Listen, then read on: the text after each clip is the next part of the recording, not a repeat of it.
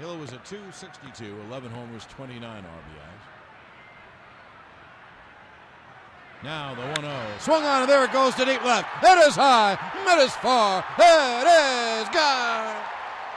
Glenallen Hill hit one to the moon, Alice. Oh, what a shot.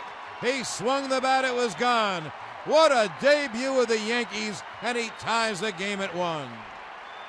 He's got a lot of power. He is a big guy, and boy, did he crush that. That's out at Yankee Stadium, too.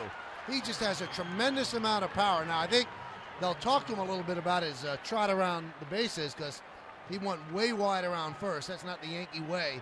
He stalled a little bit, but it has to feel good. Your first at bat on a new team, and you crush the ball. His first home run of the year for the Yankees. Coors Light Silver Bullet Blast, his 12th overall.